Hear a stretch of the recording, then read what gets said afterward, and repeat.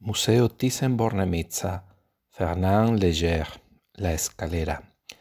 Fernand Léger conoció a Picasso y a Braque en 1910 y se incorporó a la estética cubista, aunque de una manera muy personal. En la obra de artistas como Léger es donde se hace más evidente el encuentro entre los postulados del cubismo y los del futurismo. Ambos movimientos tienen interés en captar en sus obras el dinamismo de la vida y la presencia de una realidad cambiante. Pero mientras el futurismo lo hace como una exaltación del mundo moderno, el cubismo es una vertiente puramente pictórica. En la escalera encontramos, en efecto, similitudes estilísticas con, la obra de algunos futuristas, y tal vez en este caso esté más cercano a ellos que a los cubistas, lo que el artista quiere reproducir es el movimiento ascendente de unos personajes subiendo por una escalera. Ya se habían realizado anteriormente ensayos de reproducir el movimiento.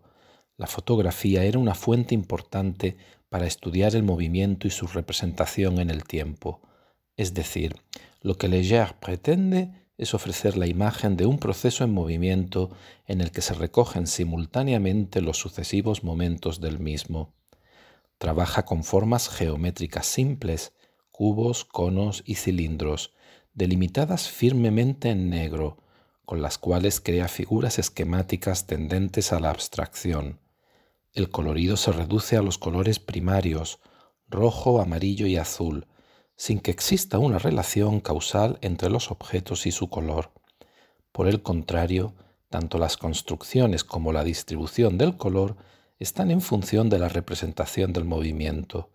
En las obras de este artista, el movimiento en su sentido literal tiene una presencia mayor que en Braque o Picasso, quienes se centran más en los aspectos cambiantes de la realidad en función de nuestra propia percepción, condicionada por factores espaciales y temporales.